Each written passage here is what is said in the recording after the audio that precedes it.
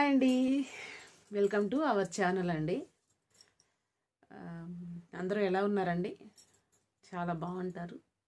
రోజు బాగున్నారా అని ఎందుకు అడగటం బాగానే ఉంటాం కదా అనుకుంటారా మీరు?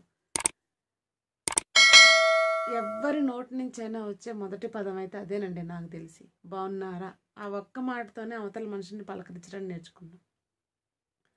ఇప్పుడున్నటువంటి ఈ కల్చర్లో అయితే బాగున్నారా అని అడగటానికి కూడా అడగలేనంత అది కూడా అడగలేనంత బిజీ అయితే కాదు కానీ దాన్ని కూడా అవాయిడ్ చేసుకుంటూ పోతున్నారు. చూస్తే ఒక చిన్న స్మైల్. మరి దారుణంగా స్మైల్ ఇచ్చేవాళ్ళు కూడా తక్కువైపోయారు ఇప్పుడు. ఎందుకనో ఏంటో మరి? ఈ కమ్యూనికేషన్స్ ఏంటో ఈ కాంటాక్ట్స్ ఏంటో ఏం అర్థం కావట్లేదండి.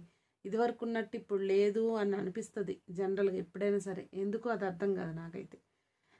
ప్రతిదీ ఏదో మిస్ అయిపోతున్నామేమో అనిపిస్తుంది. లిటరల్గా చెప్పాలంటే ఇదివరకు ఉన్నంత అనుబంధాలు బంధాలు ఆప్యాయతలు ప్రేమలు ఏది కనిపించట్లేదు. అన్ని రియాలిటీకి దూరంగా ఆర్టిఫిషియల్గా కనిపిస్తున్నాయి అన్నమాట. అనే నా ఉద్దేశం. ఇది గనక మరి మీరు నిజం అనుకుంటే మాత్రం ఖచ్చితంగా కామెంట్ చేయండి. మీరు నిజం అనుకుంటే మాత్రం ఖచ్చితంగా కామెంట్ చేయండి. ఒక తల్లికి కొడుక్కి మధ్య ఏం జరుగుతుంది? ఒక భర్తకి భార్యకి మధ్యన ఏం జరుగుతుంది? ఏం జరుగుతుంది అనేది మన క్యూరియాసిటీ కాదు. అసలు ఆ బంధాన్ని ఎలా నిలబెట్టుకుంటున్నాము? ఈ రోజుల్లో తల్లి కొడుకు మధ్యలో తల్లి కూతుర్ల మధ్యలో భర్త భార్య మధ్యలో అక్క చెల్లెల మధ్యలో కూడా ఎవరమైనా ఇంకొకళ్ళ దగ్గర ఉన్న మైనస్లు మాత్రమే కౌంట్లోకి తీసుకుంటున్నామేమో అనిపిస్తుంది నాకు. నిజంగా చెప్పాలంటే మాత్రం. ఎందుకని మైనస్లు మాత్రం ఎందుకు కౌంట్ చేసుకుంటున్నాం? ఎప్పుడైనా మనం ప్లస్లే కదా కౌంట్ చేసుకోవాల్సింది. అసలు మైనస్తో మనకు పనే ఉంది మైనస్తో మనకున్న పని మాత్రం ఒక్కటేనండి. ప్లస్ విలువ తెలుసుకోవటం కోసమే మైనస్ విలువ. అంతే. మైనస్ ప్లస్ అంటే ఏంటి? ఒక మంచి ఒక చెడు. ఒక మంచి పక్కన ఒక చెడు ఉంటేనే ఆ మంచి విలువ తెలుస్తుంది అనేది నా ఉద్దేశం. నేను ఫస్ట్ నుంచి అంతే అనుకుంటా. ఎప్పుడైనా సరే రెండు మంచే ఉంటే ఏది మంచో ఏది చెడో ఎలా తెలుస్తుంది? రెండు మంచే. ఉంటే రెండు మంచే లేకపోతే ఉంటే రెండు చెడే. అప్పుడు రెండిటికి మధ్యలో డిఫరెన్స్ అయితే తెలియదు కదా ఆబ్వియస్లీ మనకైతే. అది తెలియాలి అంటే ఒక మంచి ఒక చెడు ఉండాలన్నమాట. ఎవడైతే మనకి చెడు చెప్తాడో వాడే మన నిజమైన స్నేహితుడు నిజమైన శ్రేయోభిలాషి అనేది నా ఉద్దేశం. ఎవరైతే మనల్ని మంచి అనిపించుకోవటం కోసం కొంత మేకప్ వేసి కొంత పెప్పర్ వేసి చెప్పుకుంటారు చూసారా వాళ్ళు మాత్రం నా దృష్టిలో ఎప్పటికీ కూడా మన అభిమానులు కాదు మన ఆత్మీయులు కాదు మన స్నేహితులు కాదు కదా. కనీసం శత్రువు కంటే కూడా ఇంకా దిగజారినట్టే లెక్క అనమాట శత్రువు కూడా ఒక్కోసారి నిజాలు మాట్లాడతాడు. నాకు తెలిసి అయితే. ఎందుకు అంటే వాడు నిజమైన పోరాటం చేస్తాడు శత్రువు. వాడి దగ్గర ఆ మంచి ఉంది దాన్ని ఎందుకురా అట్లా అనుకుంటారు వాడిని? అసలు నాకు అర్థం కాదు. ఏముందిరా వాడి దగ్గర అని చెప్పి. ఒక్కొక్కసారి ఒక్కొక్కసారి కదా హండ్రెడ్ పర్సెంట్ శత్రువు మాత్రమే ఇంకొక శత్రువు గురించి నిజాలు మాట్లాడతాడేమో. ఎవడైతే ముసుకేసుకొని ముఖానికి మాస్క్ వేసుకొని మన ముందు ఒక మాట వెనక ఒక మాట మాట్లాడతారు చూడండి. అది మాత్రం ఎప్పుడూ కరెక్ట్ కాదు. శత్రువు ఎవరో మిత్రుడు ఎవరో మిత్రుడు ఎవరో తెలియాలంటే కూడా వాడు చే- ఒకడు చేసే చెడు ఇంకొకటి చేసే మంచి ఉన్నప్పుడే మనం గ్యాదర్ చేసుకోగలుగుతాం అనమాట నాకు అందుకనే అబద్ధం కంటే నిజం నిజం కంటే అబద్ధం ఇష్టం. కష్టమైన సుఖమైన అబద్ధం చెప్పి మనల్ని ఓదార్చే వాళ్ళు ఎంతమంది ఉన్నారంటారు ఇప్పుడైతే? నాకు తెలిసి. అసలు అవతల వాడిని నొప్పించటంలో జనాలు ఒకరికొకరు పోటీ పడిపోతున్నారేమో అనిపిస్తుంది. అసలు ఏంటో ఏంటో నేనైతే ఇంకా పర్టికులర్గా మీకైతే చెప్పలేను కానీ నేను అంటే నేనేం సఫర్ అవ్వలేదండి. నేను సఫర్ అయ్యానని మీరు ఎప్పుడూ అనుకోవద్దు. నాకెందుకో ఒక్కొక్కసారి ఒంటరిగా కూర్చున్నా ఒక టీవీ చూస్తున్నా. ఫర్ సపోజ్ సీరియల్లే చూద్దాం. సీరియల్ తీసుకుందాం. మన దృష్టిలో సీరియల్ తీసుకుందాం. ఏం జరుగుతుందండి సీరియల్లో? రెగ్యులర్గా ఎవరైతే పగ తీర్చుకోవాలి అనుకుంటారో ఒక మంచి మనిషి మీద ఎవరైతే ఇది చేస్తున్నారో ఆ ఆ మంచి క్యారెక్టర్ మాత్రం అలాగే ఉండిపోతుంది. ఈ చెడ్డ క్యారెక్టర్కి మాత్రం మంచి విజయాలు సాధించుకుంటూ వెళ్ళిపోతున్నారు అనమాట వాళ్ళు ఏం చేసినా సక్సెస్ అయినట్టు చూపిస్తున్నారు. డైరెక్షన్ అట్లాగే ఉంటుంది. బయ బయట దేవుడు చేసినటువంటి బొమ్మల మధ్యలో జరిగే చిన్న చిన్న పోటీలు కూడా అవే జరుగుతున్నాయేమో అనిపిస్తుంది నాకైతే. ఇంకా ఏంటి అంటే అసలు కొన్ని కొన్ని చిన్న చిన్న విషయాలు అంటే చిన్న పిల్లల దగ్గర కూడా నాకు అనిపించిన విషయాలే నేను చూస్తున్నాను. ఇంత చిన్న పిల్లలకు కూడా అసలు ఆ కమర్షియాలిటీ ఎట్లా వస్తుందో నాకు అర్థం కావట్లేదు. అసలు ఎక్కడ మొదలుపెట్టి ఎక్కడికి వెళ్దామన్నా కానీ చివరికి ప్రతిదీ కూడా ప్రతి విషయం కూడా చాలా ఆశ్చర్యకరంగా ఉంటుంది అసలు. అమ్మో నిజంగా అమ్మ ఎట్లా బతుకుతానరా దేవుడా అనిపిస్తుంది ఒక్కోసారి. కానీ ఎవరూ ఆగట్లేదు. ఎవరి జీవనం వాడిది అనుకోండి ఎవడి లైఫ్ వాడిది ఎవడి జీవితం వాడు ఎలా జీవించాలో వాళ్ళకైతే తెలుసు. దేనికైనా సరే తట్టుకోగలిగే మనస్తత్వం అయితే వాడికి పర్సనల్గా వాళ్ళకు ఉంటుంది వాళ్ళ మెంటాలిటీ వాళ్ళ వ్యక్తిత్వం వాళ్ళు ఆల్రెడీ పుట్టినప్పటి నుంచి ఏ స్టేజ్లో ఎట్లా అయితే ఉన్నారో అది ఎప్పటికీ కూడా పోదనమాట నా దృష్టిలో అయితే. వాళ్ళకి తెలుసు. జనరల్గా నాకు తెలుసు. నేను ఎంత లీడ్ చేయగలుగుతా ఎంతవరకు నా ఆశ ఏంటి నా కోరిక ఏంటి నాకెంత నేను ఎంతవరకు ఏదైనా గెలవగలుగుతాను ఎక్కడ ఓడిపోగలుగుతాను అనేది నాకు తెలుసు. కానీ ఆ ఓట మీద మీద గెలుపు కోసం జరుగుతూ ఉంటుంది చూసారా? ఆ చిన్న పోరాటమే ఇట్లాంటివి అనమాట ఎంతమంది ఎన్నంటున్నా అదొద్దు ఇదొద్దు అంటున్నా లేదు మనమేదో చెయ్యాలి మనమేదో సాధించాలి అనేటటువంటి ఎందుకు రాదు? రాదు అంటే ఎందుకు రాదు? గెలవను అంటే ఎందుకు గెలవను? ఓటమి గెలుపు. ఓడే వరకు పోరాడాలి లేదా గెలిచే వరకు పోరాడాలి. ఏదైనా పోరాడితేనే తెలుస్తుంది. ఓడిపోతామా గెలుస్తామా? మన ముందున్నోడు గెలవనియండి మనకి మన వెనకున్నోడు గెలవనియండి. మనం పోరాడుతుంటేనే కదా మనం ఎంత ప్రయత్నించాము అనేది తెలుస్తుంది మనకి. సో ఇది అనమాట. ఇట్లా ఉంటుంది ప్రతి పరిస్థితి కూడా. చెప్తున్నా కదా. Plus minus.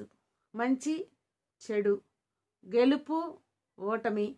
శత్రువు మిత్రుడు శత్రువు.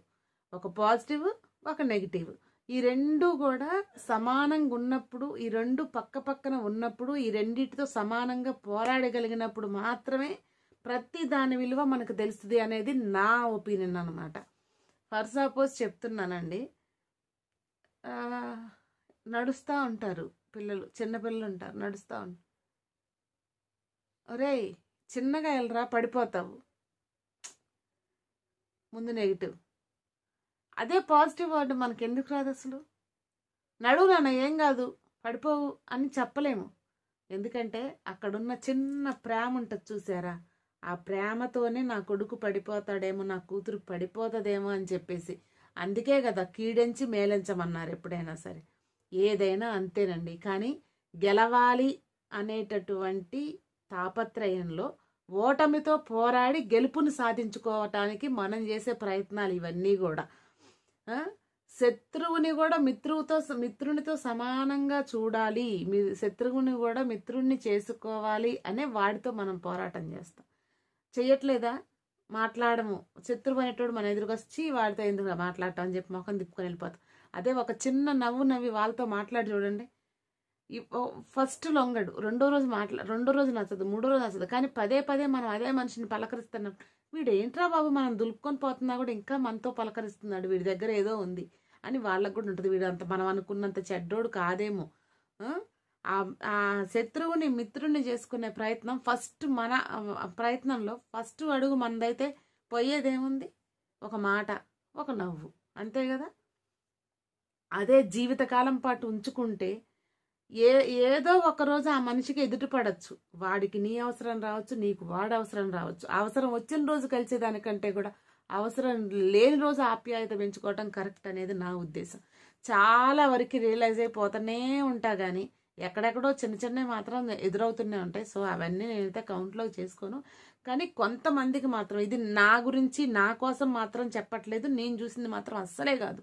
మీరు అస్సలు అట్లా అనుకోవద్దు అంటే దీనికి ఏదో ఉంది ఇంక ఏమో మనసులో ఏదో ఉంది అని మాత్రం మీరు సీరియస్లీ అట్లయితే అనుకోవద్దు. నేను ఈ రోజు చూసిన క్యారెక్టర్లు అది సినిమాలో అవ్వచ్చు పుస్తకాల్లో అవ్వచ్చు ఫోన్లో వీడియోస్ అవ్వచ్చు ఏదైనా అవ్వచ్చు. ఈ సందర్భానికి నాకు ఏదైతే గుర్తొచ్చిందో అదైతే మీకు చెప్తున్నా.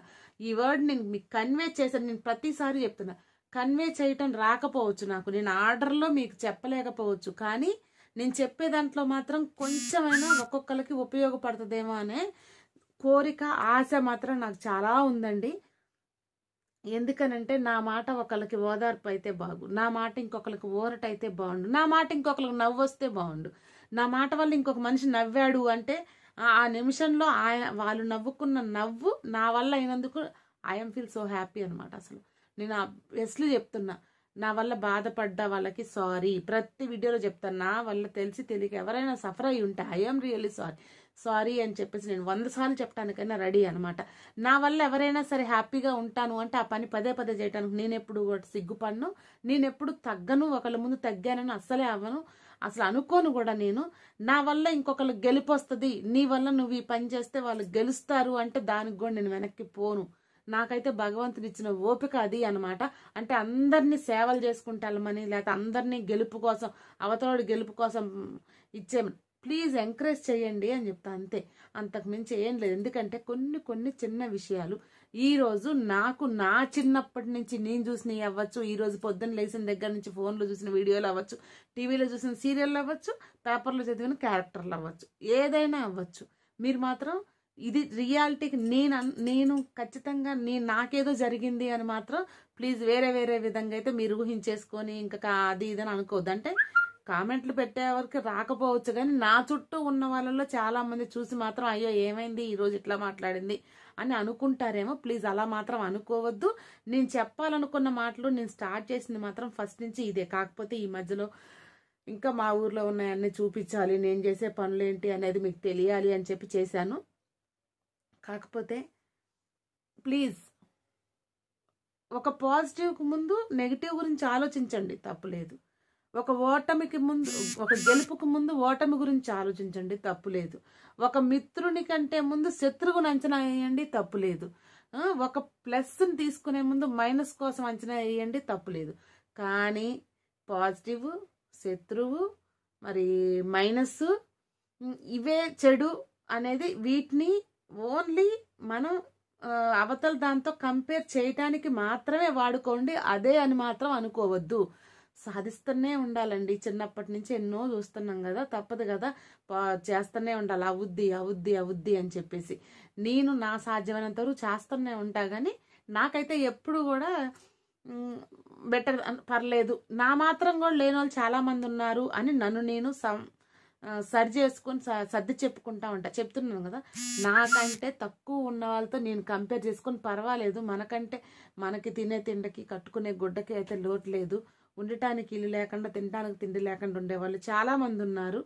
సో వాళ్ళని చూసి మనం నేర్చుకోవాల్సినవి చాలా ఉన్నాయి. నువ్వు ఆరాటపడి పోరాటపడి ఎదిరించి సంపాదించి ఎంత చేసినా కూడా చివరికి నీ అవసరాల కోసమే కానీ కాదు అని ఇంకొక రూపాయి నీతో వస్తుందా అంటే రాదు. రానే రాదు. అసలు ఆబ్వియస్లీ రానే రాదనమాట. ఇలా మాట్లాడుకుంటూ పోతే ఎంత దూరమైనా మాట్లాడతానండి.